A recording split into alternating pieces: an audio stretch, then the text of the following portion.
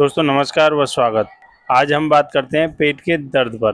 दोस्तों, पेट का दर्द कई तरीके से हो सकता है, यह आपको आगे बताएँगे। जब पेट दर्द होता है तो दोस्तों, न तो कुछ खाया जाता है, न ही पिया जाता है, और आराम करने जाओगे, न आराम किया जाएगा।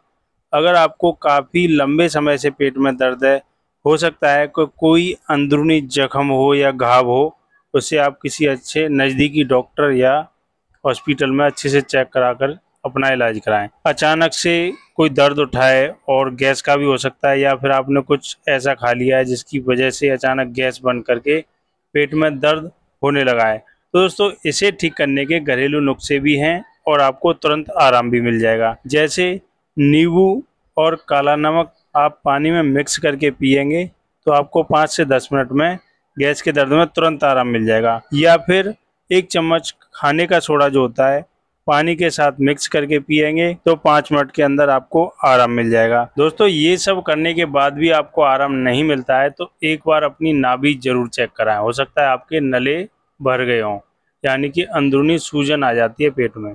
यदि आप कोई वज़न एक साथ उठा लो या ऊँचे नीचे पर आपका पैर रख गया हो तो क्या है, नाभि अपनी जगह से हट जाती है, तब अंदर सूजन आ जाती है। सूजन की वजह से भी आपको पेट में दर्द हो सकता है। इसके लिए आपको क्या करना है? सुबह सुबह पेट की गुनगुने पानी से सिकाई करें और नाभि में थोड़ी सी हींग रखें, जिससे गैस पास हो जाएगी और नाभि जो है अपनी जगह पर एक दो दिन में आ जाएगी।